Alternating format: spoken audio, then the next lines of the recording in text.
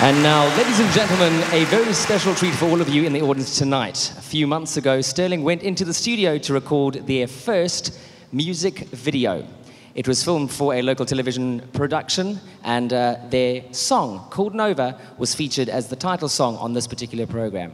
Ladies and gentlemen, for those of you who have not seen it yet, please give a round of applause for Nova, the movie.